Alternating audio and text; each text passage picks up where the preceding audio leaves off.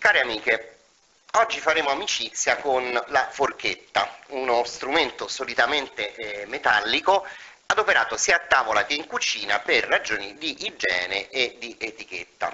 Grazie a questa pratica eh, invenzione noi possiamo infatti spostare qualunque alimento o porzione di esso, purché sia di consistenza solida, senza toccarlo direttamente con le mani.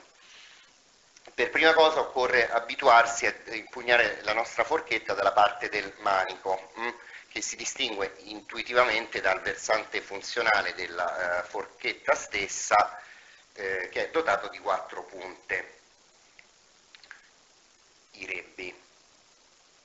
A titolo di esempio noi adesso useremo una mela, eh, che abbiamo scelto per maggiore chiarezza, ma vi posso garantire che con un po' di eh, pratica vi abituerete a usare la forchetta anche su pietanze di più difficile maneggevolezza.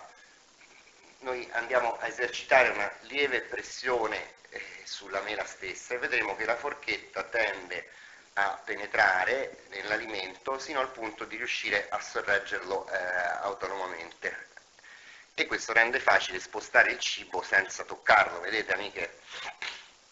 Io ricordo che l'impiego della forchetta non è limitato alla cucina, ma essa è molto diffusa proprio sulle eh, tavole e eh, noi stessi consigliamo di dotare durante il pranzo ciascuno dei nostri ospiti della sua forchetta individuale.